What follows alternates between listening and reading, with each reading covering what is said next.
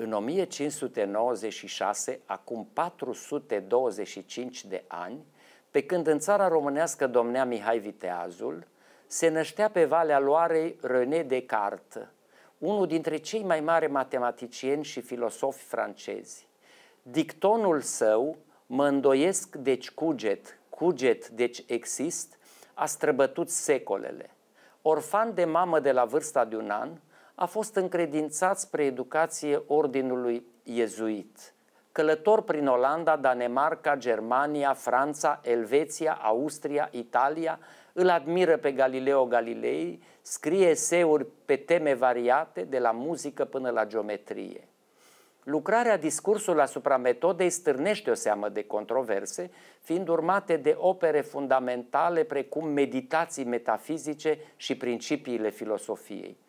În matematică a introdus geometria analitică, calculul algebric, numerele negative și numerele perfecte. În filozofie e fondatorul cartezianismului, o formă de raționalism care consideră rațiunea drept unic isvor de cunoaștere, adică trage concluzia existenței nu din observație, ci din gândire. A stabilit reguli ale gândirii pentru aflarea adevărului și a încercat să împace în chip dualist idealismul cu materialismul. Descartes a fost continuat de o pleiadă de filosofi, începând cu Spinoza și Leibniz, influențând și abordările filosofice românești, de la Cantemir până la Ștefan Lupașcu. Opera sa se află astăzi în centrul preocupărilor de specialitate din academii și universități.